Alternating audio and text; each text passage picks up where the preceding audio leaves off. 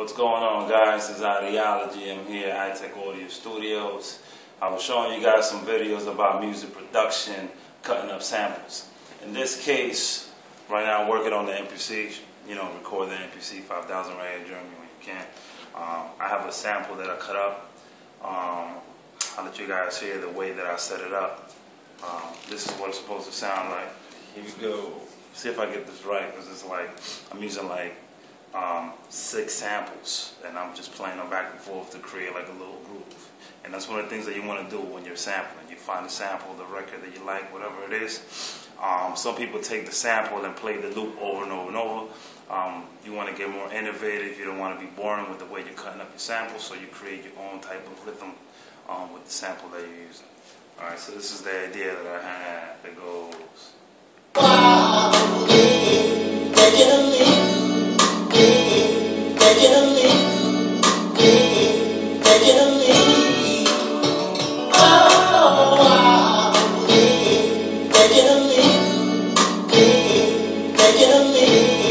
So anyway, I kind of messed up there, but anyway, I have the sample cuts, and I already have like a little groove, the way that I, you know, come up with the drum pattern in my head. That's usually how I do it, and I put it together in a little harmony that I want to go in the bag. That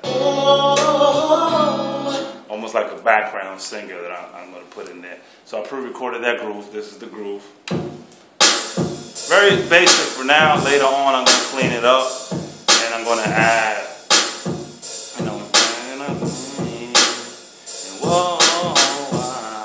you know, so I match the tempo like that. So a little harmony I put in there. So when I'm ready, I'm gonna start it so you can hear it. Here we go.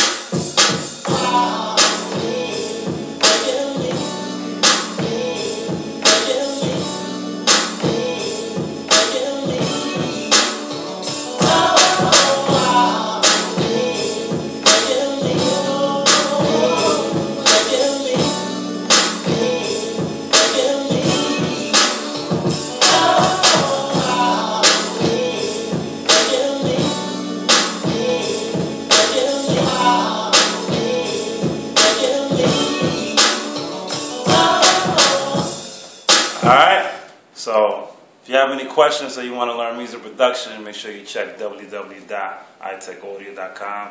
Once again, this is Ideology. See you later. Peace.